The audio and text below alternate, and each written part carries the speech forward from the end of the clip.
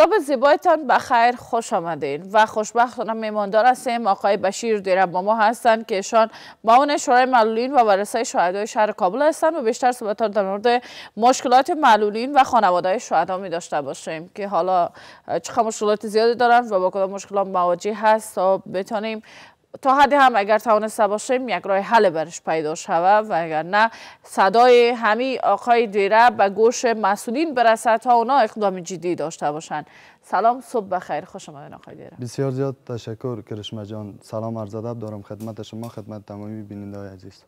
ممنون. تا از تشریف آوردین. آقای دیره ممنون. ارزمند هستم جور حتما سر حال باشین. و حالا که کمتون موا سرد است شما خوب باشین. میشه در مورد ازی بشنویم از شما که چقدر معلولین مشکلات زیاد دارن و زمانی که یک بست هم اعلان میشه چقدر سهم زیادی داده میشه. با کمال تاسف که ما یکی از فقیرترین کشورهای دنیا به شمار میریم وزارت اقتصاد نتانست که یک برنامه مشخص به خاطر معلولین داشته باشه. امروز وضعیت معلولین نگران کننده است تکان دهنده است پرسش برانگیز است. به دلیل از اینکه ما امروز حداقل هم حقوق سالانه خود که دریافت می‌کردیم. با کمبود بودجه مواجه شدیم. حقوق سالانه خود دریافت نکردیم. فعلا تعویض وجود داره فعلا افرادی که طبیعی معلول هستند گفتن قانون در حال تعطیل است. که متاسفانه از تعطیل قانون هیچ خبر نیست. ما انتظار داشتیم که وزارت دولت در امور شهدا و معلولین به همچو موضوعات ملی در سطح افغانستان اقدام جدی کنه. اما متاسفانه که ما می‌بینیم بیشتر از دو سال از کارکرد وزارت دولت در امور شهدا و معلولین میگذره. ما تغییر نه در سیستم دیدیم نه در وضعیت اشخاص دارای مالیت در افغانستان دیدیم. حداقل اونا می‌تونستن که یک برنامه زمینه کار به ما فراهم میساخت. ما در بلاکا شهرکا تحصیلات عالی حج اوقاف سمیه داشتیم که ما می‌تونستیم از او سمیه خود استفاده کنیم و روابط جای ضوابط نگیره. آنها که واسطه داره شناخت داره هم معرفی میشه هم از امتیازات حقوق امتیازات اشخاص دارای مالیت مستفید میشن. ما یک کمیسیون پیشنهاد مایی بود تقاضای مایی بود که یک کمیسیون با صلاحیت ایجاد شود. متشکل از وزارت دولت در امور شهدا و معلولین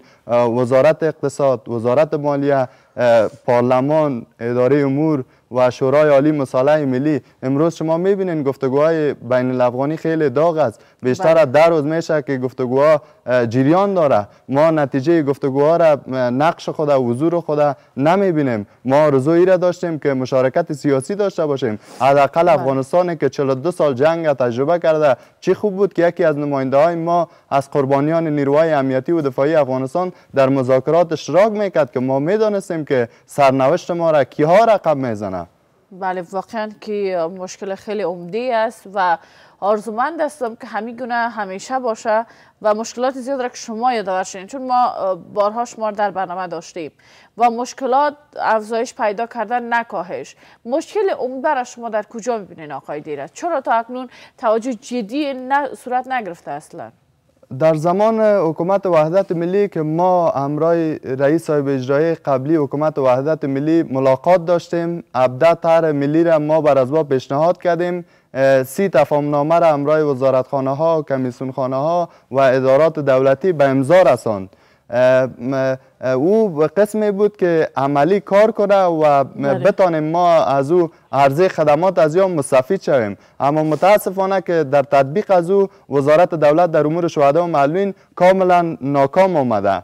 ما می‌تونستیم حداقل متفاهم نامه را که وزارت دولت در امور شهدا و معلولین همراه شهردار کابل داشت حداقل ما 20 هزار معلول و خانواده های شهدا را زمینه کار براشان مساعد می ساختیم شغل آزاده. که می‌تونستن اقتصاد خوب و اقتصاد بهتر داشته باشن. صحبتتون قطع هم کردم. آقای فصلی زمانی که تشریف آورده بودن اونا زیاد چیزهای را گفتن یعنی زیاد کارکردهای را گفتن که ما این انجام دادیم. چون خودتان کس هستین که شاهد حال هستین و می‌بینین چقدر کمک های صورت گرفته چقدر توجهی به این قشر صورت گرفته یا خیر. چرا این همه حرفا تنها تمام چیز در حرف است نه عمل کرد؟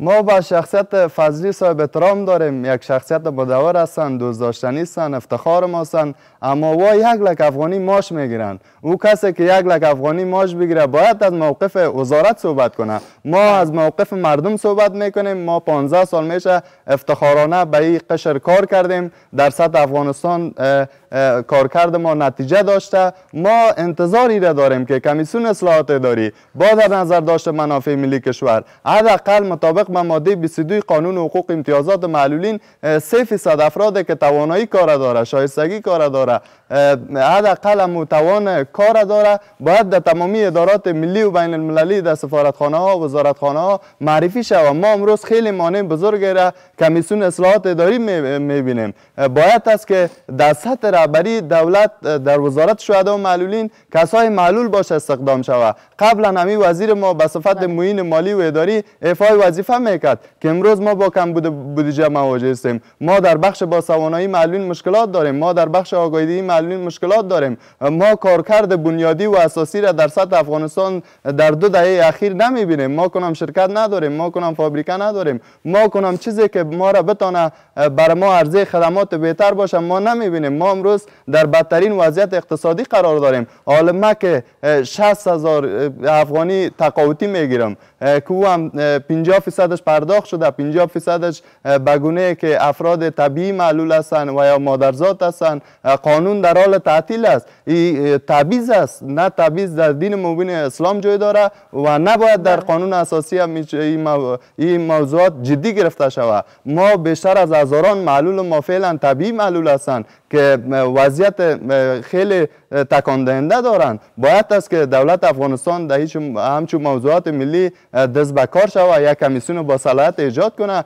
که ما بتانیم حداقل ما شهروند جامعه هستیم. معلولین به خاطر تمامی ارزی کشور به خاطر استقلال کشور به خاطر آرامش کشور. توتی بدن خود داده که امروز ما می‌بینیم فضلی صاحب حرفایی که می‌زنن به هیچ صورت قابل قبول ما نیست بله چون شما در میان مردم هستین و شما خوبتر معلوم میشه که معلولین چقدر مشکلات زیادی دارن. حالا با کدام مشکلات زیاد مواجه هستن؟ خب آقای دیره قسمه که شما یاد باشین در مورد تقاوتیتان قبلا هم ما بارها با آقای زمان که برنامه داشتیم گفتن که سیستم بایومتریک است. حالا کسانی که خیالی بودن دیگه نخواد بودن. این چقدر توانست نتیجه بخش باشه به خودتان که خودتان در میان مردم هستین و حرفای آنها را شما میگین؟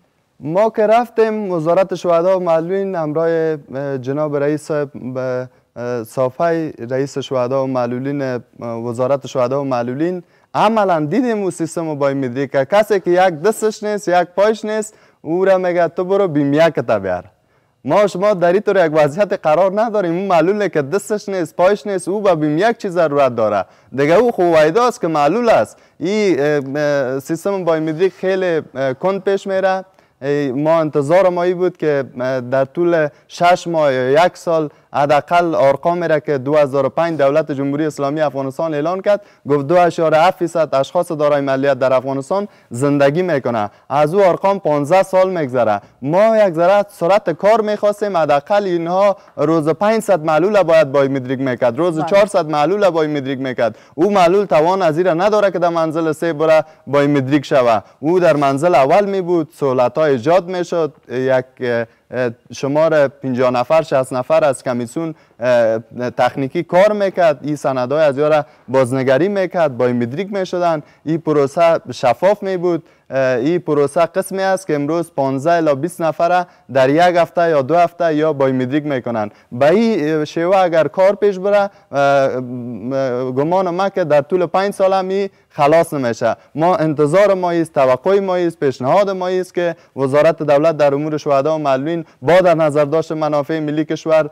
اقدامات جدی داشته باشه. جناب وزیر صاحب در یکی از رسانه ها ظاهر شدن گفتن ما در سطح افغانستان یک یک مشاور تعیین می‌کنیم. ما گفتن که 3 فیصد قانون حقوق امتیازات معلولین در سطح افغانستان تطبیق می‌سازیم. ما خیلی انگشت شمار می‌بینیم. فعلا حتی همون 3 فیصد قانون حقوق امتیازات معلولین مطابق به ماده 22 قانون حقوق امتیازات معلولین که ماده 22 قانون اساسی افغانستان است قانون حقوق امتیازات معلولین است. حتی ما در وزارت شهدا معلولین نمی‌بینیم. ما باید حضور پررنگ داشته داشته باشیم ما مشارکت سیاسی داشته باشیم. باید دولت افغانستان این مسئله را جدی بگیره. باید یک کمیسیون با صلاحیت برای ما ایجاد شود. نمیشه که ما بریم در رسانه ها حرفای بگوییم که او از خاطر کردت ما باشه او از خاطر امتیاز بله. ما باشه. باید از با در نظر داشت منافع ملی کشور کار صورت بگیره که ما یک اقتصاد خوب و اقتصاد بهتر داشته باشیم. انشالله. خب فکر نکنم هیچ کسی به خاطر اینکه شهرت حاصل کنه همچون حرف را بزنه ولی هر چیز از یک مشکل است. چون شما مشکلتان بیان می‌کنین. و آرزومند هستم که بالاخره مسئولین هم صدای شما به گوشان برسه و آنها اقدامات جدی داشته باشند.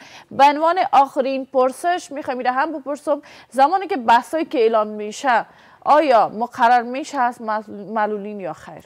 ما حضور یک درصد خود در ادارات حکومتی می‌بینیم. ما توقع ما خاص ما پیشنهاد ما است رهبری جمهوری اسلامی افغانستان از کمیسیون اصلاحات اداری حداقل 134 ولایت افغانستان از طریق رقابت بین معلول به رقابت بندازه.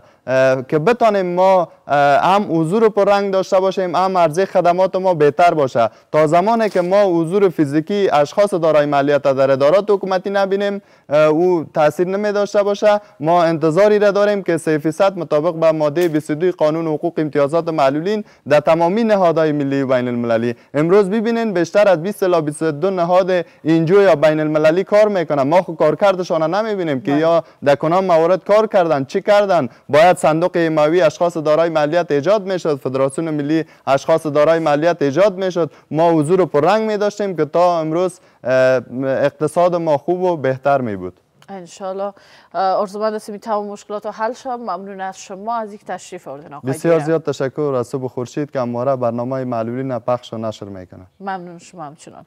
حالا هم وضعیت آب هوای افغانستان و چند شهر دیگر با هم یک جا تماشا می‌کنیم.